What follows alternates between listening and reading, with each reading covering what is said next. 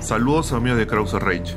En esta oportunidad les tenemos información desde la OTAN, donde su secretario general Jens Stoltenberg ha expresado su preocupación por los ataques a las instalaciones saudíes. Esperamos que esta información sea útil para ustedes y de su agrado. Empecemos.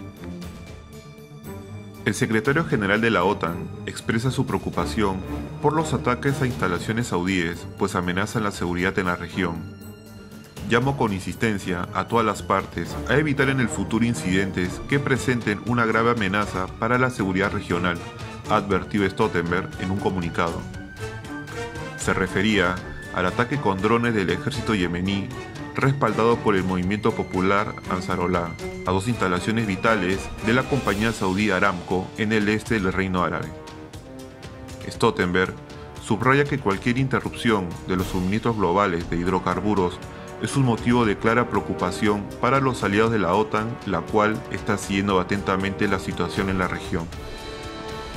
El mercado reaccionó al ataque con una subida drástica de los precios del petróleo Brent, de 60 dólares por su barril registrados el 13 de septiembre a más de 71 dólares por barril el 17 de septiembre, es decir, una subida del 15%.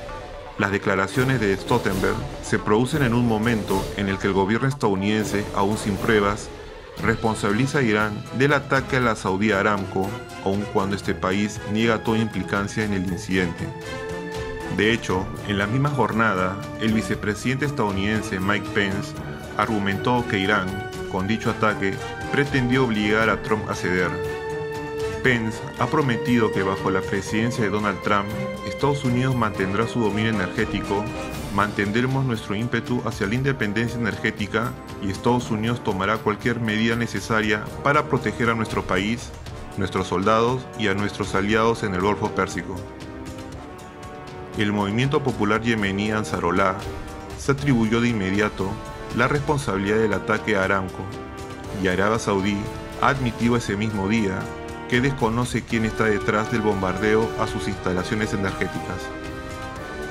De acuerdo a la información que te he presentado, ¿considera que las declaraciones del secretario de la OTAN son pertinentes en este momento de tensión en la región de Arabia Saudí? Esperamos sus comentarios. No te olvides de suscribirte al canal y muy importante, activar la campana de notificaciones para que se te envíe la notificación respectiva cuando publique un nuevo video. Gracias por visitar Krauser Rage Games, donde tú siempre estarás informado.